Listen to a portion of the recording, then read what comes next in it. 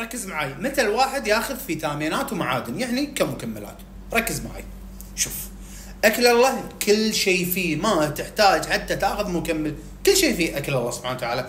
والجسم يبي نسب جدا بسيطة. مثلا النحاس. يبي الكثر.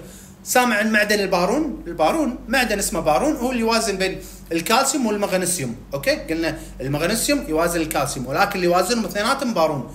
هل إحنا نحتاجه؟ في مكمل. ما نحتاجه. ليش؟ لأن الجسم يبي نقطة بسيطة. ركز. وين مشكلتنا هنا مشكلتنا يا جماعة بحمض المعدة والأمعاء.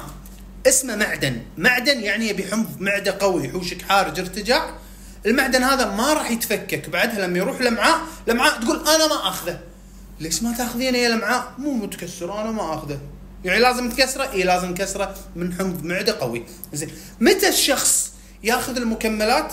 الحين شخص قوى عنده حمض المعدة وقوى امعائه خلاص صار امتصاصه 100% وعنده مشكلة أو حالة مرضية أو عنده أعراض. هني ندخل له المكمل يكون جرعاته شوي زايدة ومركزة ندخل المكمل عشان يصير التشافي عنده أسرع.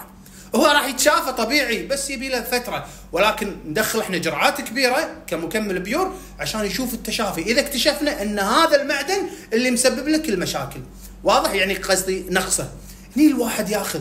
أما ما عندك حارج. ارتجاع ركز على الأكل اللي اللي مثلا أنا تكلمت عن مثلا فيتامين اي ركز على الأطعمة اللي فيها فيتامين اي ولكن عندك حارج وارتجاع أول شيء صلحهم.